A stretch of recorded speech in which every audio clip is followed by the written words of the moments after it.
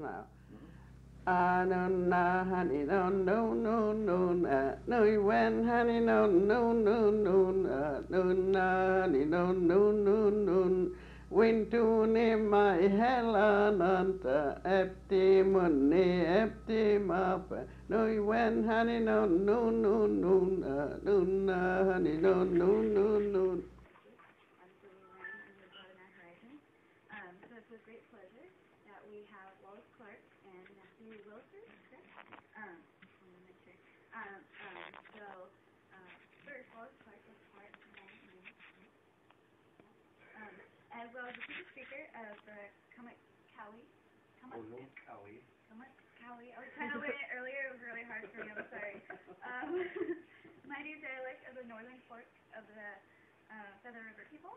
Um, works on keeping the dialect alive by conducting language camps uh, once a month from spring to autumn. Um, and Matthew Williford is a student here at Butte College and is studying anthropology um, and just wants to explain his culture and what his background is. Um, so without further ado,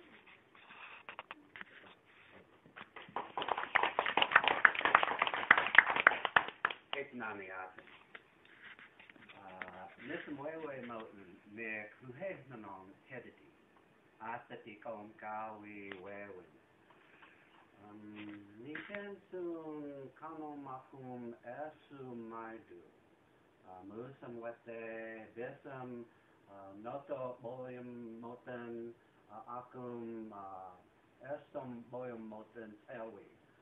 Uh, Hoyum Kodo near Gwewin Hedidi, me and I Mayan Uh, that translation uh, is uh, I gave you a traditional greeting, uh, uh, which in our language either means hello or how are you.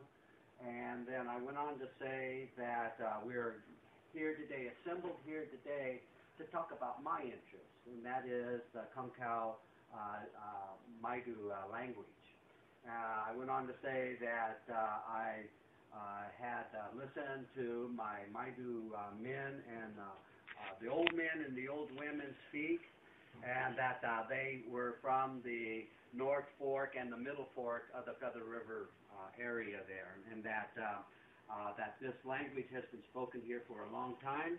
That uh, I am now going to give you my words. Um, so, um, my name is Wallace Clark, and my name, uh, my family comes from the Konkow Valley, North Fork of the Feather River area. My grandfather's uh, name was Benjamin Franklin Clark, and um, uh, as well as George Washington Clark, George John Adams Clark. I was, I don't for some reason they they wanted to get all the presidents in uh, with the the old ones in my family there. Um, their mother was Yohima. Uh, and um, on the matriarchal side of her family, uh, they came out of the Yankee Hill, uh, Ma people of Horseshoe Bend. And then on the patriarchal side, uh, it came out of uh, the village site of Waluda, uh, currently called the Cherokee area of that, of that Feather River area over there. Uh, I am the great great grandson of Tomiani, he was the uh, Nopani of all the um, uh, Konkow people. And, um, um, oh, and Tomiani means uh, fish dam maker man. Uh, traditionally, um, you could only take a name if it was given to you. Uh, I don't know if some of you heard that uh, uh, when uh, Tomyani, he was the, the Nopani of the Konkow people, but he was the one that was taken over to the Mendocino area uh, at the time of the gold rush. And, um, and on his deathbed, he gave his son, the only surviving uh, part of that family that was rounded up, uh, he gave uh, his son the same name, Tomyani. Um, envision a time when the only noise that uh, you would hear in this area was the cry of uh, buklaka, uh, the red, red-tailed hawk, or possibly the women as they were singing songs uh, while they were processing the acorns. Of course, when the children were, come on in, when the children were uh, playing in the rivers, there'd be a lots of laughter and singing going on as well. But these noises were also uh, part of part of that was also listening, uh, listening to Munu Kakani, the wind spirit, uh, because uh, he would tell you when the seasons were changing. So they were always listening for those kind of uh, things in the world, in their world. Life on these lands were good. There was plenty to eat, plenty to be thankful for, and it was a paradise. The songs and the language were a reflection of that. Um, they were ever gentle, respectful, and honoring.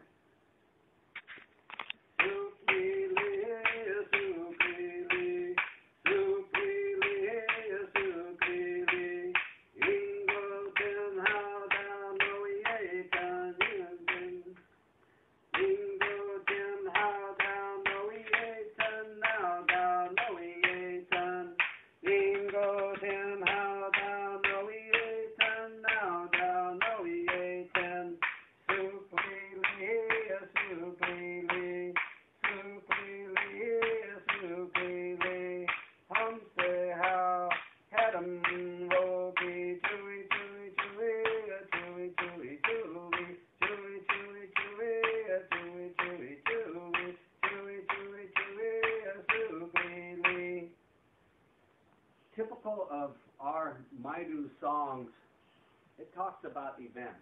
That particular song is um, the translation is the cauldron cauldron spewing. It's about Mount Lassen. And uh, uh, that particular song uh, talks about at the time of creation, and two birds were flying around Mount Lassen. A lot of our songs um, take those things into consideration uh, when we dream them up. It was about 25 years ago that my interest in the culture took a turn towards the language. As a tribal administrator uh, for one of the local tribes, I would spend most of my days with the elder Jones an old Konkow woman. Uh, her father came from my grandfather's village area, and her mother was from the area of Challenge, California, which is a little bit south of here. As I sat and listened to her speak about the language, I came intrigued with her life and decided that I needed to learn more. One of the interesting facts that became apparent was that most Maidu people did not speak their language at all, or their dialects. Uh, it, it, it appeared that the conquering language of the new people that came in was now the dominant language of the area. Mary and I would frequently travel around in my car uh, with the main topic always being the language. Auntie, how do we say hello? I asked her. And before I knew it, I started my journey into my culture. Uh, as I learned more, my enthusiasm grew, and this became an infatuation. But unfortunately, uh, soon thereafter, Mary passed from this world to the next world, uh, leaving me with very little resources uh, of our particular dialect, again, the, the Valley uh, Maidu dialect. Um, but I never gave up. I, uh, I kept on studying. The years passed, and, uh, uh, and then into decades. Uh, and uh, as in the example of the Mount Lassen song, the language would encompass all of my life.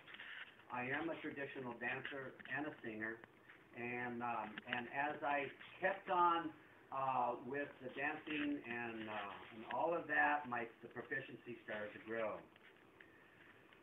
Uh, the education system of the United States has historically repressed and marginalized the native cultures and languages. This has led to the alarming decline of many of our languages, including um, uh, the, uh, I think we had at one point 10 dialects for the Konkow people, and uh, I think we're looking at three, maybe four um, uh, so far.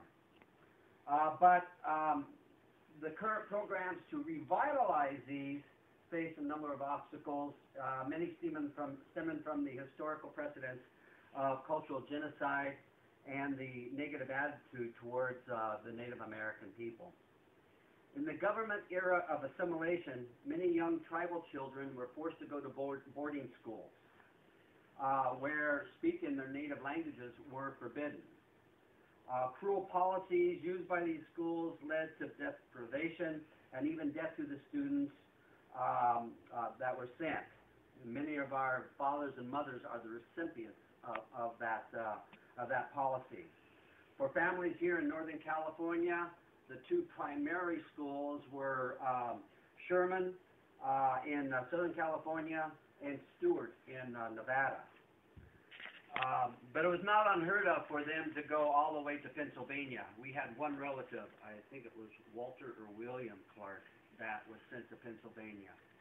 Uh, and that would be um, Carlisle, uh, where uh, Jim Thorpe went to school, if you know who Jim Thorpe is.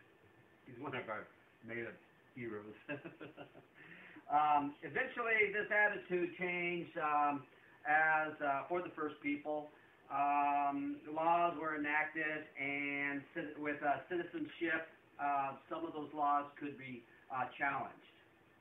In a quote from an 1882 article of the Harper's Weekly, one biased observation recorded this. In the training school at Forest Grove, 100 young Indians between the ages of 5 and 20 are kept, well fed, and well clothed and happy, and as far as can be judged from appearances, quite as intelligent as a similar number of white youths. They came to the school with, from the prairies and the mountains, dressed in blankets and moccasins, with uncut, uncut, unkept hair, and as wild as young coyotes.